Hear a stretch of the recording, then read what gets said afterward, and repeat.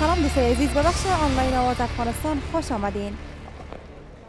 بله دوستا من خدیجه سادات هستم. امشب من نمیفهم برای فرشته جان سما چی مشکل پیش آمده بود؟ قرار است که با دگه یاورا امشب من یکی از یاورای برنامه آواز افغانستان باشم. من نمیفهم که مرا خوش دارین یا خیر. اگر خوشم دارین من هستم اگر نداریم من هستم.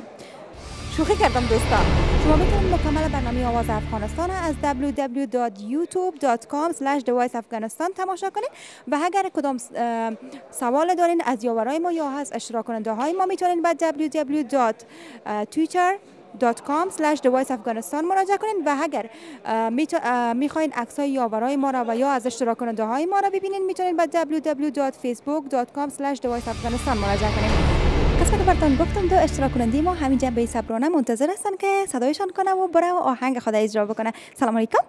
سلام علیکم خوب هستین؟ زنده باشین. نامتان چی است اسم قیس حکیمی هسته قیس جان چطور شد که آواز افغانستان انتخاب کردی و بیایی از طریق برنامه آواز افغانستان یک آوازخوان شوی.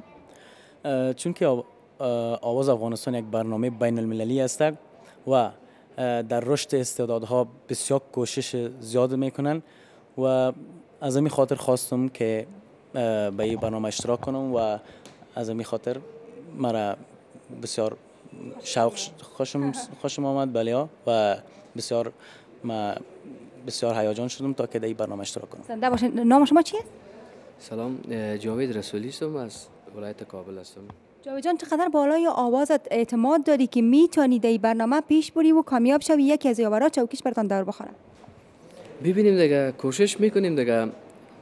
خود چیزی که خداوند کرد دیگه تو گفتن نمی‌تونه که مقصد تمرین مشق تمرین زیاد کردیم. ما پارسال هم اشتراک کرده بودم خب نتونستیم یک مریض داشتم پاکستان. امسال باز اشتراک کردیم دیگه. ببینیم که دیگه نصیب قسمت. اگر داوره خوش کرد خب ما در خدمت هستیم. موفق باشین. دوستان اشتراک کننده ما خب مطمئن هستم که بسیار آمادگی گرفتنی که کدام یاور بر کدامشان چوکی خود دور میته این دیگه معلوم نیست. شما برنامه رو تا آخر دنبال بکنین. هی هفته ما برنامه ما همینجا به پایان می‌رسه. تا هفته دیگر خدا نگهدار.